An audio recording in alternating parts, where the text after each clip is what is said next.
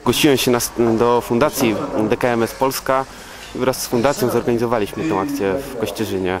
Rejestrujemy potencjalnych dawców szpiku kostnego, którzy w przyszłości, miejmy nadzieję, pomogą komuś uratować życie, bo każdego roku jest około 10 tysięcy osób, które chorują na białaczkę, z czego tylko 50% z nich znajduje swojego dawcę. To jest zdecydowanie za mało, bo pozostałe osoby po prostu no, nie można ich już uratować. A to jest problem, żeby znaleźć właśnie taką, takie osoby.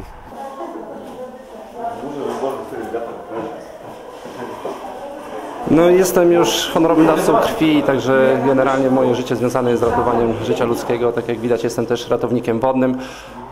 Także no, nie trzeba było mnie specjalnie namawiać, jak usłyszałem o tym. Zostałem tutaj wolontariuszem jednocześnie przy tej akcji, a oczywiście również sam zarejestrowałem się jako dawca. Być może kiedyś uda się komuś w ten sposób pomóc.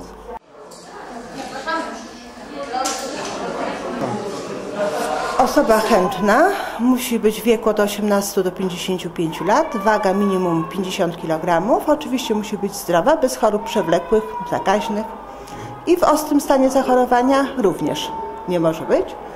Zgłasza się tutaj, jest zbierany wywiad. Po zebraniu wywiadu zgłasza się do pań, które krew pobierają, oczywiście metodą bezbolesną, próżniową.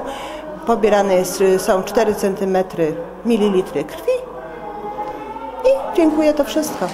Przyszła koleżanka, przyszłam razem z koleżanką i tutaj zresztą też inni pracownicy przychodni też zgłosili się jako potencjalni dawcy i tak to po prostu ruszyło. Tutaj łańcuszek w sumie, kolejka.